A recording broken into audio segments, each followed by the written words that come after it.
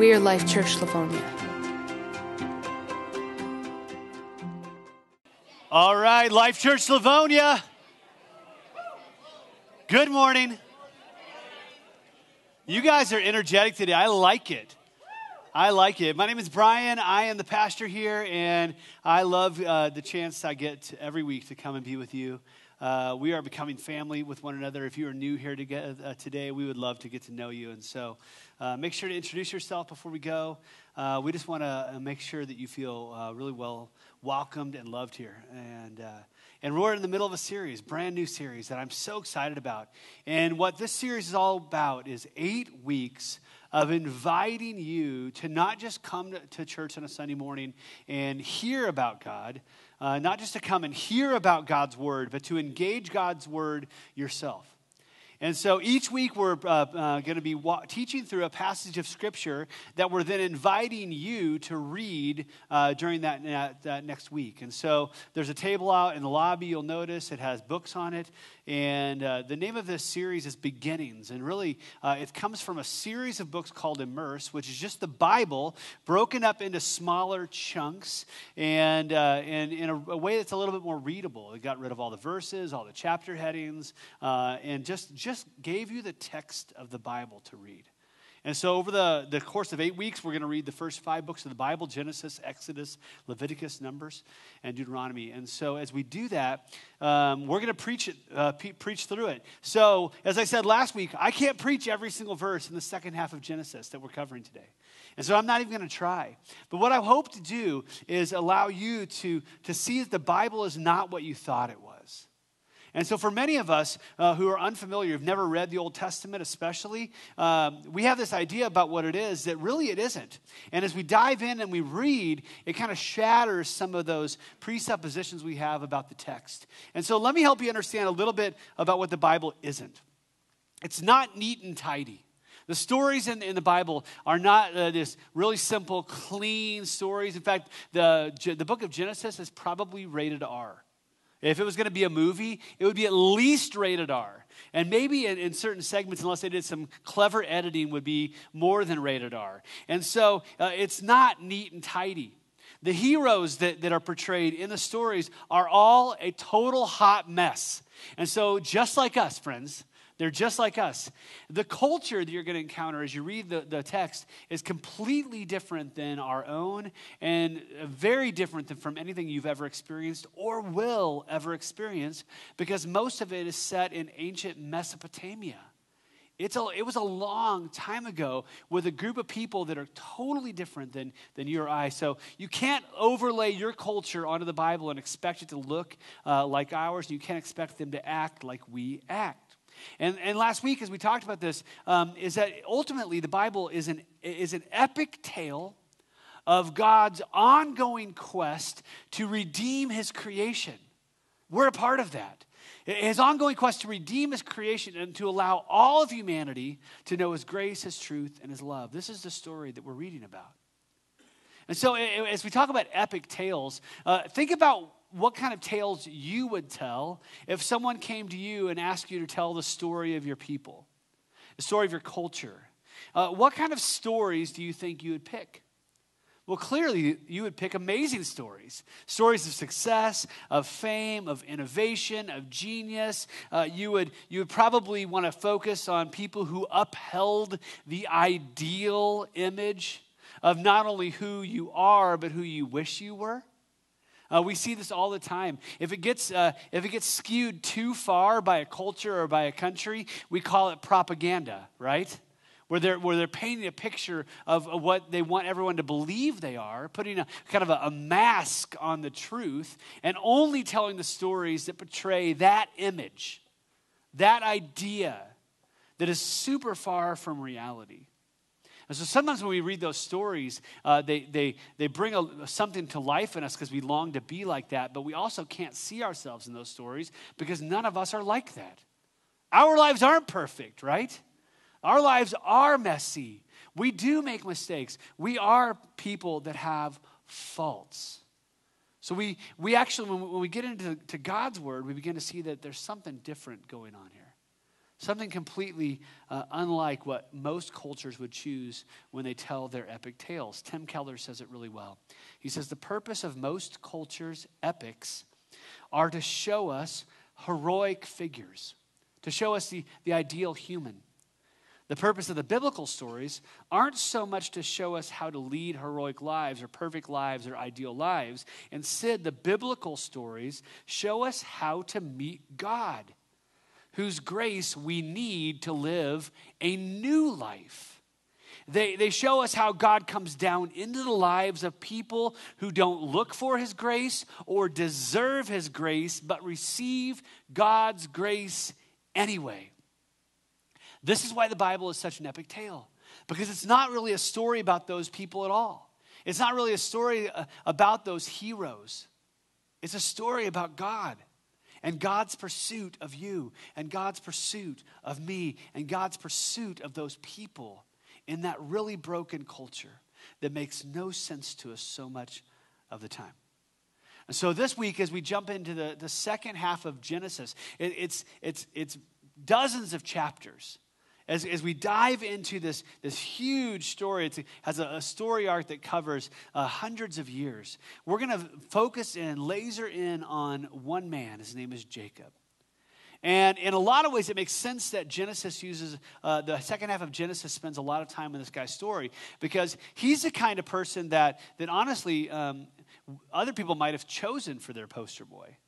You know how the, like when the Olympics come, uh, they always highlight people that are success stories, the people that against all odds they survived and they overcame, and now they're this perfect, you know, diver or they're they're the fastest runner, and they love to tell these human interest stories. Well, in some ways, Jacob's story is is kind of one that we might celebrate in our American culture. He was the second born son of a patriarch who should have been kind of a nobody the invisible child the one that didn't matter, the one that would have had to have fought for every single thing he ever got. And, and, and despite his birth order, because birth order in, in that time, in that place, was everything. Despite his birth order, he, he developed this, this knack to, to, to grow business and to become wealthy and to make a name for himself. He, he achieved success against all odds. He became a very wealthy man. And yet, despite that apparent success, despite the outward appearance of having really uh, just, he's killing it at life, despite all of that, he was kind of sleazy. He really was.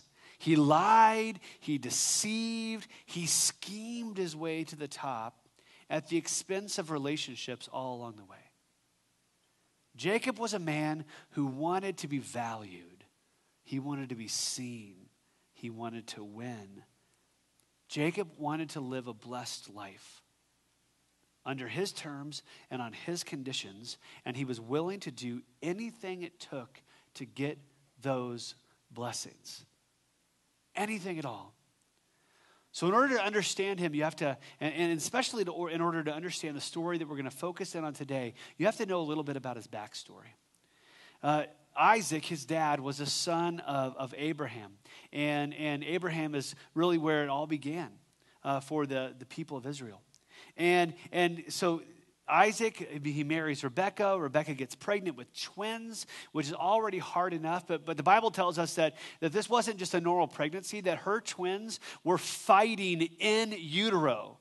Imagine being that mom. What an awful thing. Your belly is already larger because you're carrying twins, and now they're fighting inside of you. That does not bode well for their toddler years, right? And so it says in Genesis 25 22, but the two children struggled with each other in her womb. This is not good. And so uh, they, they're, they're born. Esau is born first, which is a really big deal. And as Esau is, is being born, his brother Jacob comes out holding on to his heel. This is crazy. They were fighting as they came out of the womb during childbirth. And so, what do they name Jacob? They, they, what do they name him? Jacob, which means heel grabber. What if your name was heel grabber? What an awful name. It really designated that he was second place. Heel grabber. His very name reminded him that he was insignificant. That he was the grasper, the struggler, the one that was trying to be first and wasn't. So we flash forward in their story and we see Jacob scheming. He wants to be first place, and so he trades uh, his brother uh, the first place birthright for a bowl of stew. We could spend the whole day just talking about what in the world Esau was thinking to trade his brother away his birthright to be the firstborn son. But it works. He schemes his way. He, he, he does this incredible like moment of acting to get his, his dad to bless him because his dad was blind and couldn't see. And all this crazy stuff happens. And long story short, is he steals the blessing that was for his older brother Esau. He steals it from him. And when Esau realizes what's happened, Esau is furious. And he was kind of a man's man, a hunter and a fisherman, and strong and brave. And he wanted to end Jacob, who's so mad. He wanted to end his life. And so Rebecca, Jacob's mom, is like, You need to leave because your brother's going to kill you. And so she comes up with a scheme. She's going to send Jacob off to live with her brother Laban, and hopefully he will go away, leave home, and find a wife and a life. Isn't that every mom's dream for their sons? Will you please just leave the home and find a wife and a life, right? So that I don't have to deal with your issues, your brother and you fighting are still fighting. You are growing adults. Go find a wife and a life, right? So he leaves all by himself. He fought to steal this blessing from his brother, and then he didn't even get to live into that blessing. Isn't that interesting? He had to leave home. He left home and he, and he journeys to where Laban lived with his whole family, and um, everything happens the way his mom would hope it would. Uh, he finds uh, this new family. He uh, gets married. He has uh, multiple wives, actually, because their culture was totally different than ours. And, and he schemes his way into success as a shepherd and a businessman and as a father.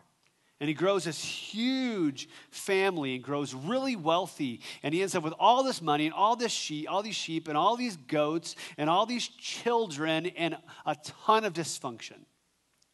Like dysfunction on top of dysfunction on top of dysfunction. And now, uh, not only, he has a new family, but now his new family isn't happy with him. His father in law uh, is upset because much of his success came at his father in law's expense. And so, after at least 14 years, probably closer to 20 years living away from home, building this brand new family, God appears to, to Jacob. It's really interesting. This is what it says in Genesis 31 3 says, Then the Lord said to Jacob, Return to the land of your father and grandfather and to your relatives there, and I will be with you. What? Like, I, you asking me to go to a place that even in the way you speak about it isn't my home. It's not return to your land, it's return to the land of your father and your grandfather and to your relatives there, and I'll be with you. J- Jacob's like, This is my home now. This is where my wives are. This is where my family is. This is where all of my flocks and my herds are. And God's saying, Return to the land of your father and your grandfather. And guess what? If you do that, I will be with you. God was asking him to do something that was really a big deal to uproot everyone. It wasn't just him that was going to go home, it was going to be everyone. We're talking about a caravan of servants and, and workers and children and animals. It was a big deal. And you didn't just go move to a new subdivision and buy a new home, you packed your home up and carried it with you. And God's like, I want you to go back to the place where I planted your family. Back to the place, by the way, where your older brother still lives, the older brother that wanted to kill you. And now the, the God of Jacob's father and his grandfather is asking him to trust him to follow him, to, to submit to him.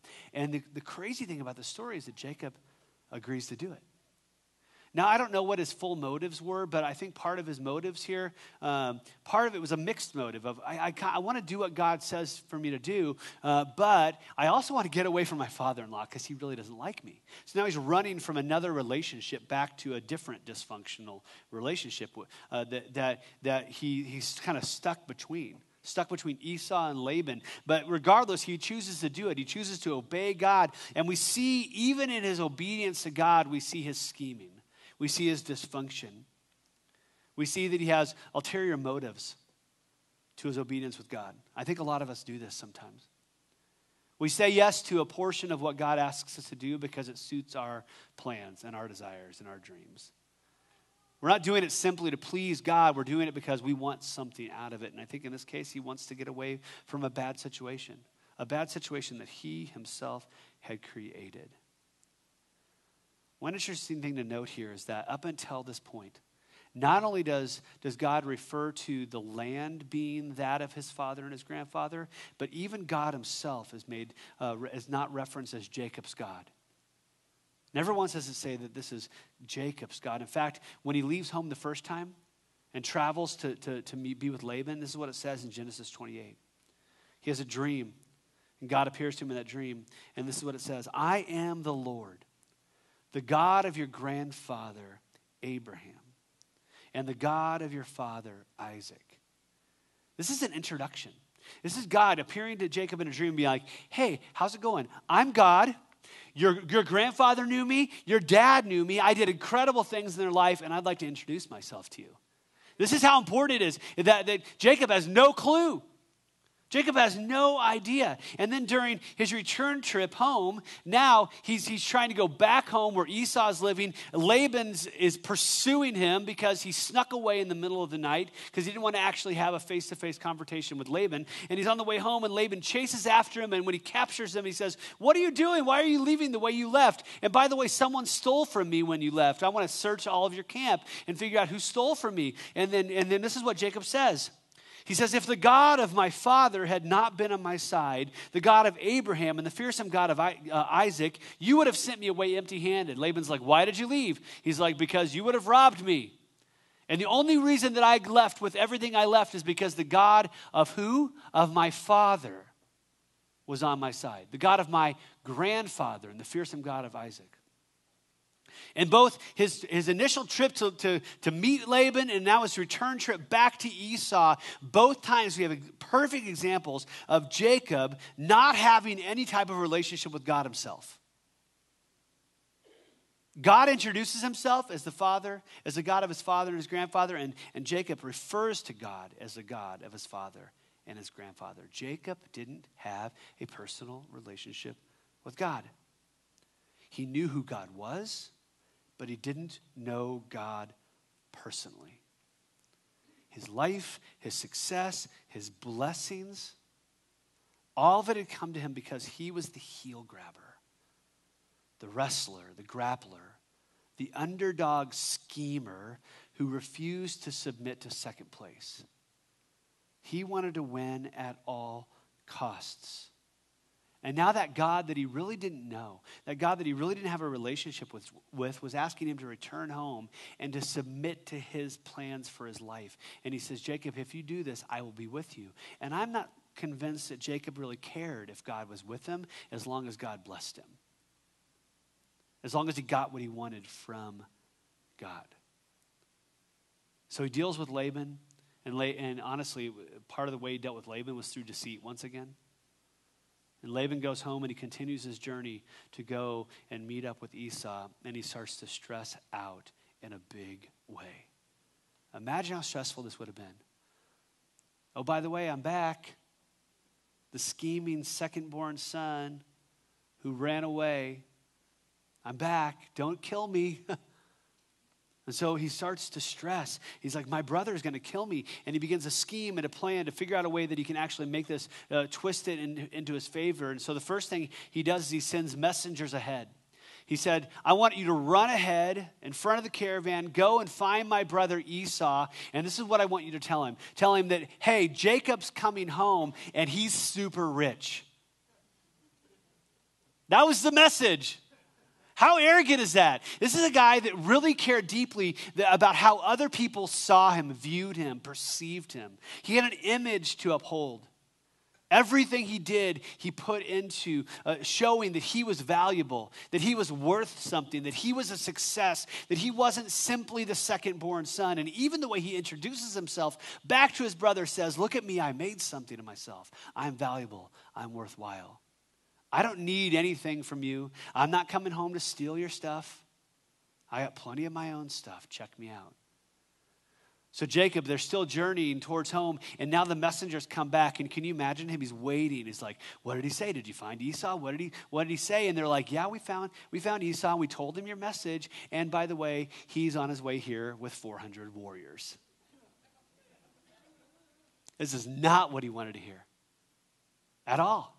Because everything he was afraid would happen, it appears as if it's about to happen. This would have been terrifying. Oh, yeah, your brother that wanted to kill you before, now he's not coming by himself. He's coming with an army. An army that there's no way you could match personally. You're going to die. That's what it appeared like, right? Yes. So he starts planning again. He's like, Well, what can I do? Okay, my brother's on his way. So I'm going to I'm to make little groups of my servants go ahead, and I'm going to send them ahead to meet the 400 warriors and my brother. And I'm going to send them with a bunch of gifts. It's going to be all these sheep and all these goats and all these camels and everything that, that I think my brother might value. And so all of this blessing that he'd carved up for himself, he's giving it away now. He doesn't even get to actually experience the blessing that he'd achieved. And he's going to give away all these sub, the, the, gift after gift. His brother's going to be like journeying down the trail, and here comes a group of people with a bunch of sheep and goats. And oh, by the way, these are for you, Esau. And then he's going to go another mile or two down the path, and here's another group of people with a bunch of sheep and goats and camels. They're going to say, oh, these are for you, Esau. They're from your brother Jacob. They're peace offerings to you. I think in a lot of ways, uh, Jacob never wanted his brother to actually make it to him. He was hoping that he could bribe his way to reconciliation without ever having to have a face to face encounter with his brother. He gets so desperate, he even starts praying. This is not something he had ever done before. We don't see him praying anywhere else in the, in the story up until this moment. In Genesis 32 9, it says, Then Jacob prayed, O God of my grandfather Abraham and God of my father Isaac. This seems so unfamiliar, right?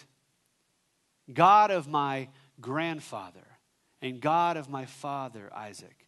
O Lord, you told me, return to your own land and to your relatives. And this is almost an accusatory prayer of saying, uh, hey, God that I don't know, but my grandfather did. You're the one that got me into this mess.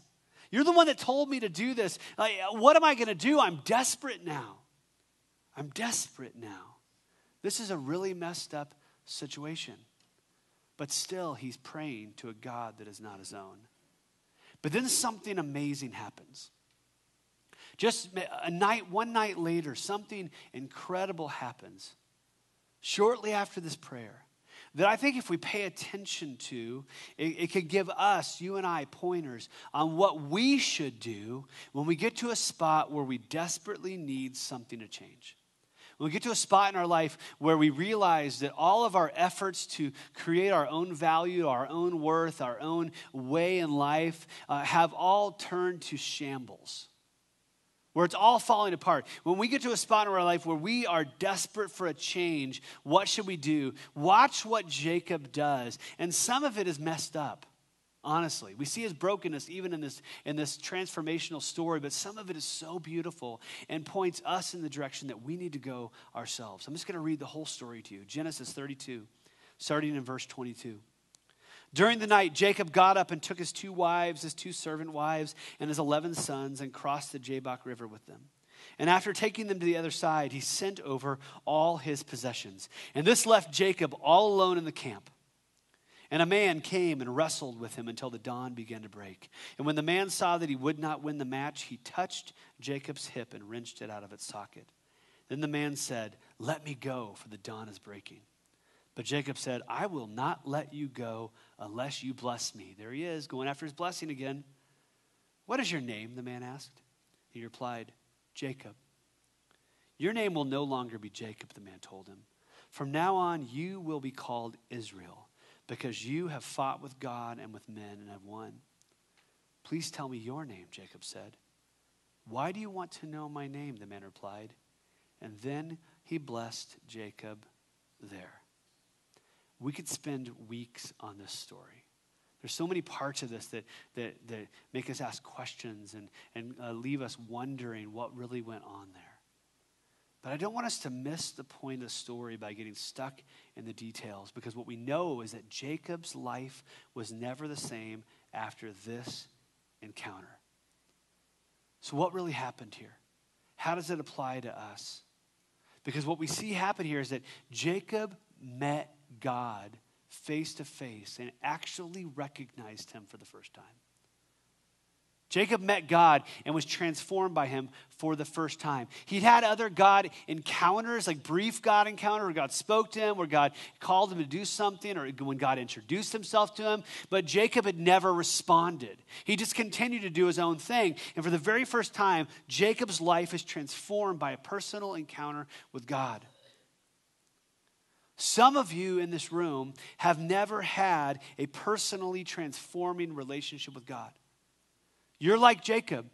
You've been either uh, holding God at arm's length, never even attempting to have a relationship with Him personally, or you've been living vicariously through the relationship that other people have with God. You may know you're that person if your faith is very dependent upon your circumstances. If your faith is dependent upon where you're going to church or who you're hanging out with, then it may be that you've never had a personally transforming relationship with God yourself. You've never had a face to face encounter with God. This was Jacob. But everything changed here. And I think, in the same way that everything changed for Jacob here, everything could change for you here. So, what did he do? What did he do that we can replicate? And the first thing he did that he got right in this story is that he got alone with God. Jacob did everything in his power to avoid face to face encounters with people that he didn't know, or that people that he didn't get along with, or people that he needed to reconcile with. When things were broken with Esau, what did he do? He left. He didn't want to have a face to face encounter. He didn't want to be alone with Esau. Why did he not want to be alone with Esau? Because he was afraid that Esau would kill him, and he was probably right. So he leaves, and then he has issues with Laban. And instead of having a face to face encounter with Laban that would then allow them to reconcile, he flees, and Laban has to pursue him because he doesn't want to have a face to face meeting and get alone with Laban. And then here's the problem is that reconciliation with anyone, whether it be Esau or Laban or God, can never happen until you get face to face with people, until you have an encounter with them. And Jacob finally has an opportunity to get face to face with God because he got alone with God. Until Jacob stops running and until we stop running, we will never have an opportunity to be transformed by God. Until we send everyone and everything away and face the God who never stops pursuing us, never stops loving us, never stops uh, going after relationship with us, we will never be reconciled with God.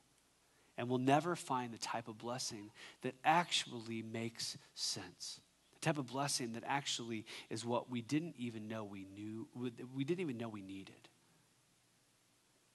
Jacob was going after his own blessing. God wanted to bless him his way. But most of us are stubborn like Jacob. Most of us are unwilling to do this the way that Jacob did it.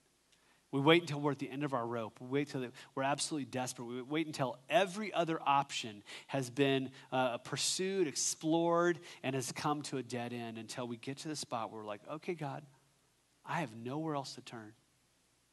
And we're finally willing to get alone with God. And when he did, what did he do? He wrestled with God. If you want to learn how to wrestle in real life, talk to Coach Rod. I think he's here, right? He knows how to wrestle. Legendary Catholic Central wrestling coach. He'll teach you how to throw someone to the ground, but this is Jacob teaching us how to wrestle with God. Totally different. None of Coach's, Coach Rod's moves would work against God. I'm sorry, Coach Rod, where are you at? Your moves don't work against God. They just don't the greatest wrestler in the world. But it says that Jacob wrestled with God all night long. Jacob refused to give up. All of his scheming, all of his, his typical moves, all of the, his typical grappling, none of it works. He was a guy that refused to come in second place. But I'm convinced that he was fighting for first place, but he was fighting for the wrong thing. When you wrestle with God, you ha- it's critical that you do so. You bring your struggles, you bring your fears, you bring your frustrations, you bring your doubts, you bring all of your, your, your stuff with you, and you need to wrestle it out with God. But when you do so, it cannot be about winning, it has to be about meeting God. It has to be about the encounter.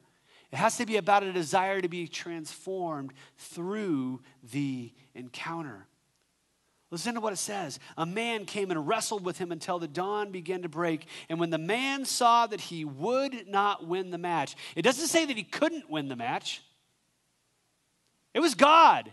It says that he would not win the match. Have you ever been in an argument with someone and you knew you were right? Imagine that you're the expert on something. You've studied, you've done all the searches on the web, you've sat in all the classes, you have all the certifications, and you're in a conversation or an argument with someone and you're wrestling verbally with them, and it comes to a spot where it's been hours of conversation. You realize this person is not going to give up. Like that, the person even knows they're wrong, but they're unwilling to admit that they're wrong because they would lose face, right? So what do you do? You're like, you know what? I'm not going to convince you. I can see I'm not going to win this, so I'm just going to what? Walk away.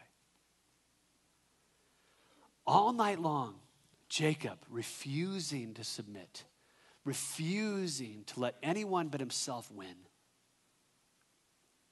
refusing to take second place. And it says, when the man saw that he would not win the match, he touched Jacob's hip and wrenched it out of socket. And then the man said, Let me go, for the dawn is breaking. He could have done that in the first moment of the match.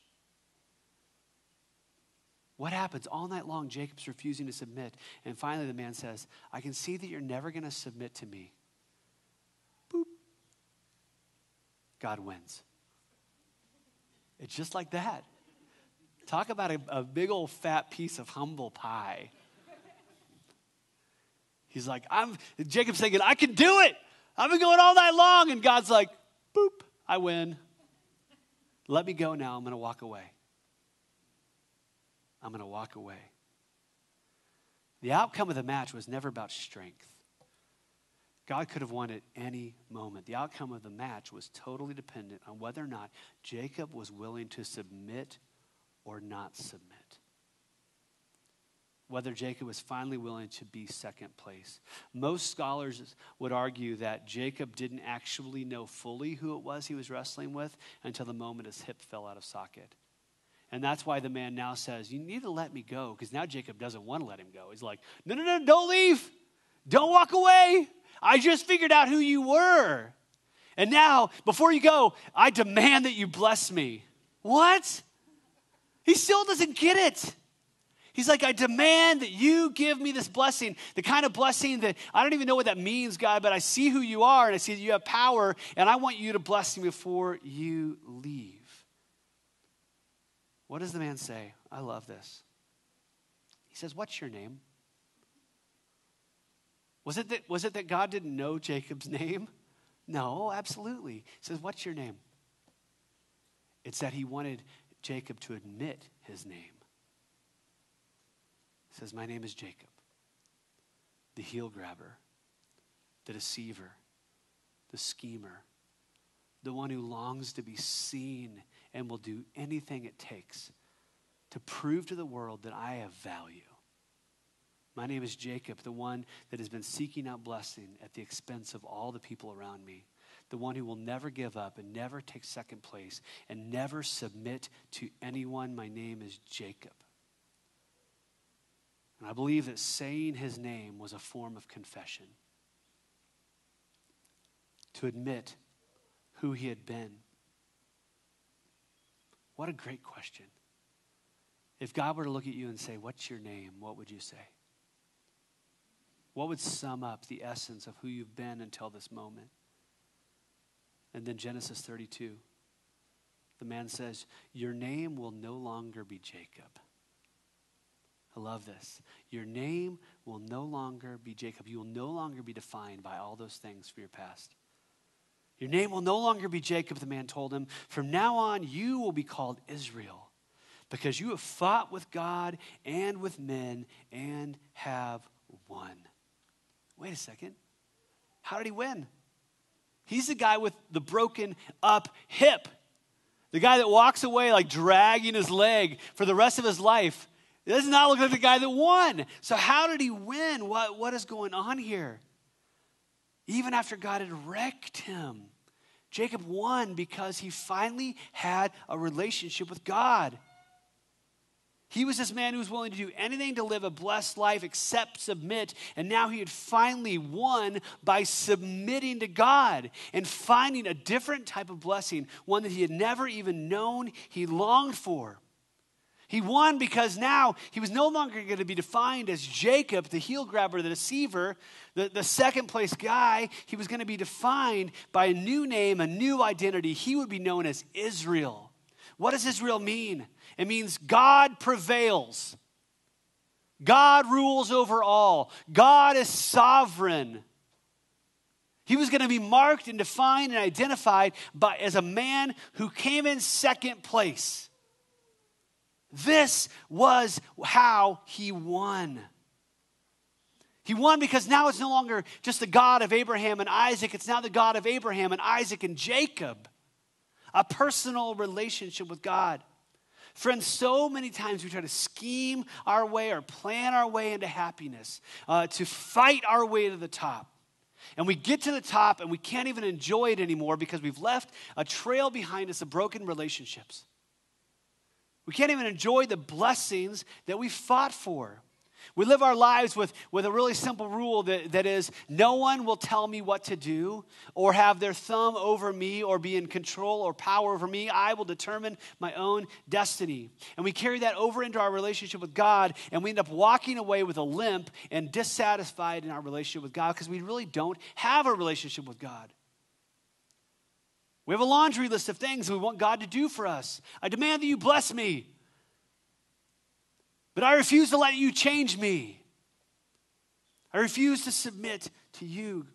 And until we do, nothing will change. And we're so stubborn, so resistant. And what we want God to do is give us everything we've asked for and lovingly and soothingly comfort us and draw us into this relationship and give us the desires of our heart and everything we want and give Him uh, uh, us, Himself. But it doesn't work that way. That's not the God we find in this story. Sometimes God has to wrestle us into a transformed life rather than comfort us into a transformed life. It's true for so many of us. That God has to wrestle us into transform life. We have to come to a place of brokenness first, even if it's God who has to break us because we refuse to submit. What if we chose to submit before He had to break us? Wouldn't that be a much better way? What if we chose to get alone with God and be transformed by God prior to being so desperate? I want to invite you into a process with God where God can transform you. I want to invite you into that space today. Choose to get alone with God. In a few moments, we're going to respond through singing and through worship.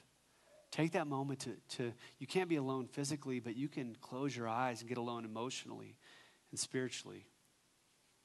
You can get alone with God in the quiet of your own heart. Choose to wrestle with God in that place. Bring all your frustrations, your fears, your brokenness. Confess who you are to God, just like Jacob did. And after that confession, choose to submit. God, I choose to be second place to you. Choose to make you King, Lord of all. I want my name to be Israel. The Lord prevails. And when we do this, we're choosing to be transformed by God just the way that Jacob was. This could be our story. His story could be our story. And I want to invite you into that space. Would you pray with me?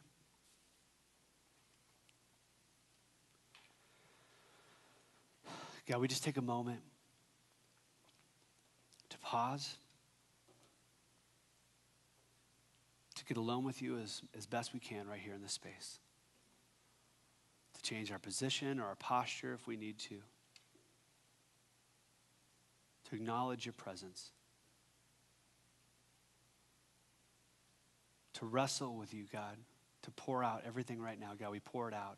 All the things we're frustrated about, we're worried about, we're terrified of, our, our feelings of insignificance, our desire for worth and value, our desire to be right over, uh, over everything else, God. The God, we confess the way that we've, we've, we've placed being right over, over good relationships, that we, God, we confess the brokenness that we've left behind us. Whatever it is, God, we, we just give it to you. All of our bad decisions, all of our hurtful attitudes, God, we give it all over to you. God, we choose to submit to you. Not my plan, God, not my will, but yours be done. Submit my life to you.